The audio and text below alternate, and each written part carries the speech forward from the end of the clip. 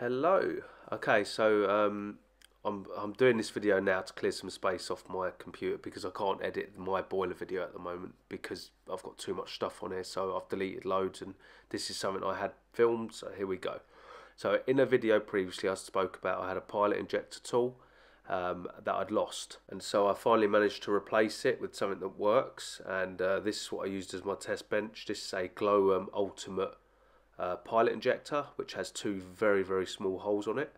Uh, and I finally got a uh, a pin that would get in there and clean it. And the pins, um, like it's precision made, it's very very very well made. Um, so it's not meant for like jamming in there and uh, and you know widening the hole. It's purely meant just to push in and move any debris out of the way. Uh, and when used properly, it does it perfectly every time. So obviously not for use on things like oxy pilots and things like that on old gas fires. However, it will do gas cookers and hobs and ovens and uh, most boilers out there.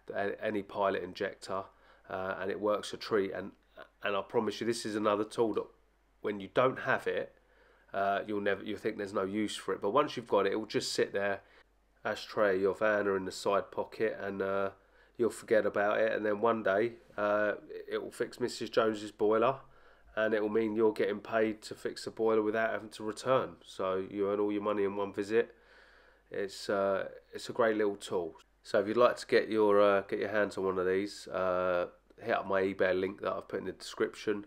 Uh, it will help support me and this channel, and uh, I'd really appreciate it. So thanks for watching this shill for something I'm trying to sell. But um, my boiler video is coming. I've got there's loads of it, but I've got a lot of it edited. I just clearing up some space. Next few days, I'll be able to get back on it, hopefully, with a clear, empty hard drive on my laptop and get it all done and uploaded. But it is, it is done, hopefully. Hopefully. So thank you very much, and uh, hopefully very soon over Christmas I'll have the next upload for you. Catch you later, guys.